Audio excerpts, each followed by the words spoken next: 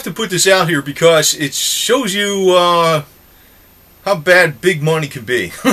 Maybe that's a stupid way of putting it, but it's kind of how it is. Uh, let me put it to this way, you know, like you always talked about big oil and stuff. I guess there's the big utility companies. Uh, this was in Oklahoma. Actually, they're gonna they're passing this law that if you put like a windmill or a solar panel on your house or something like that, you're going to actually have to pay a fee. There's going to be a fee going to like a maintenance fee to the utility company. And it's it's nothing to do with like permits or building permits or anything like that. It has to do with and you know, I don't know what the rationale actually is. They're saying somehow, you know, that I don't know what the, there is no really rationale for it. You know, I mean, they got their excuse. Basically, the utility company had to put out some kind of uh, capital expenditures and things like that to develop things, and now since you're buying something that's a capital expenditure to produce your own electricity, they want to charge you for it as a maintenance fee. So it was Senate Bill 1456 passed in the state of Oklahoma, um, 83 to 5 basically landslide. No debate, nothing. No debate as to, you know, if it was right or wrong or anything. And now it's going to the governor, um, Mary Fallin, for her approval. I assume it's going to get signed into law.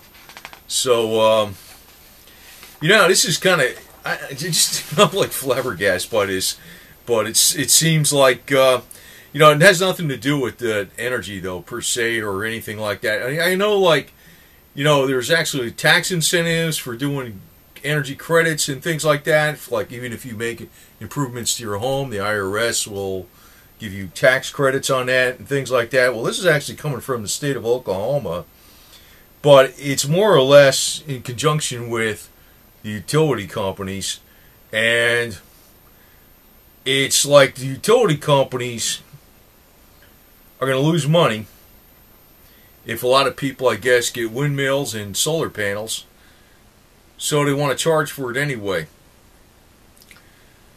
I you know I don't even know how this law could be a law. It's it's insane. It's crazy. But it goes to show you that if they had the power to tax air, that the air that you breathe, and just put an environmental tax out there and say, you know, since you're a, you know, you're a, an organism that makes carbon dioxide in the on the earth, by breathing air, they're going to tax you. It sounds crazy, but there's so many things that you know used to sound crazy so many years ago, and they're not crazy anymore. So they're actually going to charge like a maintenance or a fee or for to the utility company that you're going to have to pay for the privilege. And I know it's going to be a minor amount, but you know, the thing is, there should be zero amount. You know, for the privilege of actually using the solar panels or uh, windmills on your own property. And I think, you know, that has to do with uh, their excuse, the way their, log, their logic is, that you could possibly sell back electricity to the company, but they have to provide the, the capital expenditure to make it possible for you to sell back to the company. You know, it's my solution actually would be if you got enough solar panels, just to get the hell off the the damn solar off the whole utility company period and just the hell with them. But uh, you know, I saw that happen one place in the state of Florida, and they said it was illegal that you had to be hooked up to the freaking utility company. Uh, I don't know. This is getting crazy, but I'm going to say this. You know, I know one person that's maybe not too popular, unless it's in certain niches, is Al Gore. Uh, to give you an example of the hypocrisy of some of this, these people, uh, he's got a 20 room mansion and it's 20 rooms plus eight bathrooms. So it's you know it's 20 rooms that are like regular rooms plus eight bathrooms. Uh, from what I've read, his electric bill is twenty five hundred dollars a month, which is like you know 20 times or something, or, or 10 or 20 times what anybody else's electric bill is in the United States. He does not use green energy. Uh, he uses like you know he's got all these heated pools and it's on a big acreage and lots of space. It's under air conditioning and heat all the time, year round. There's just there's absolutely no consideration of you know, saving resources or anything in his case, because I guess he's God or something, or thinks he's God. But um, actually, to tell you the truth, uh, what, you know, if anybody really knows, anybody could see really what the reason is and the rationale why big money is actually pushing, um, you know, the environmentalism. It's actually all about control and removing property, pro- private property rights, and that type of stuff, and um, just making it so there's always they're they're never going to give up their ongoing charge. You know, the old story was when um, Nikola Tesla was able to possibly um, provide electricity to the world any place. You know, J.P. Morgan, when he found out about it, goes, "Well, if I can't charge for it by putting a meter on it, forget it. I'm not going to do it. You know, what am I going to do? Sell people antennas, and once they have the antenna, uh, there's not going to be a monthly charge. So it's always about we have to have that revenue stream always coming into us. So the utility companies are basically kind of like, I guess, indirectly connected to the oil industry, and uh, they're not going to give up power easily. So I was surprised that the legislator went along with this, though. The vote was 83 to 5, landslide in favor of charging a basically like a maintenance fee for to the utility company if you put in a solar panel.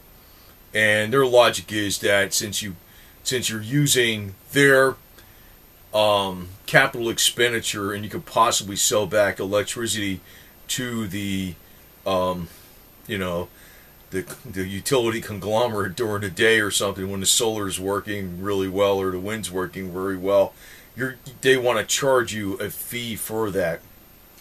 You know there's always a logic you can come along with something but uh, uh, this is getting ridiculous. And, you know, the whole word of the day actually is with environmentalism. And, you know, it's a good thing, actually, if you take it for what it should be.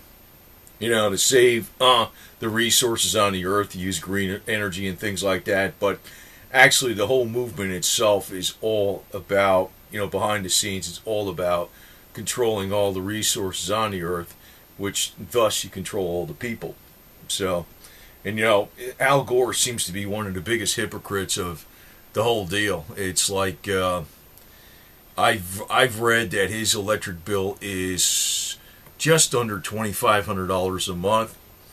Um, he doesn't really use green energy. He's got like heated swimming pools, massive mansion, and things like that. Doesn't make use of, you know, and that's twenty five hundred dollars a month in a um, fairly uh, warm area, you know, of the country. It's not some place like you're not talking about Alaska or something like that, where you might have some exorbitant heating bill.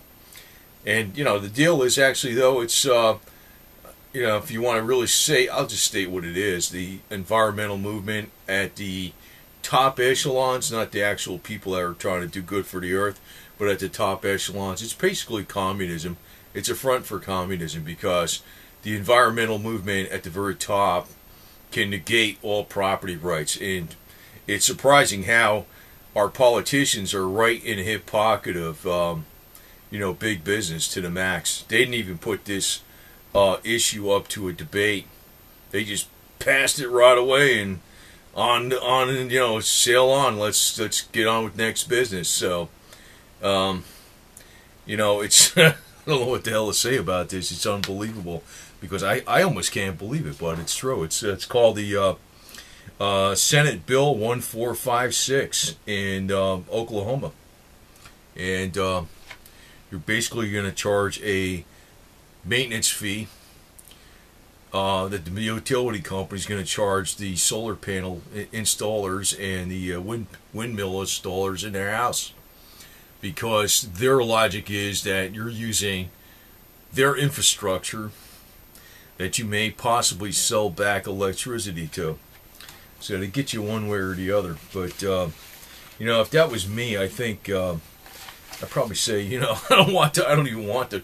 I don't even want the uh, uh, utility company. But you know, there's some actual some things going on. There's actually a movement saying, you know, I think it was in one area of Florida where they forced a woman to um, uh, stay connected to the grid.